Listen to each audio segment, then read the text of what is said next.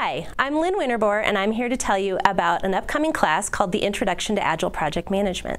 Companies today are finding that things change really quickly in today's marketplace.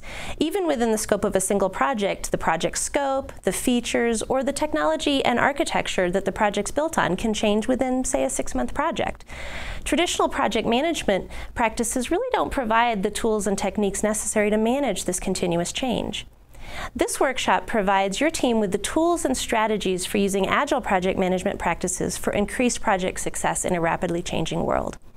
We're going to cover the Agile project management framework, the product vision and the project scope, release planning, uh, articulating capabilities, features, and stories, as well as the delivery of those capabilities, features, and stories, iteration planning, team collaboration, and one of the most important aspects of any Agile practice, which is learning and feedback.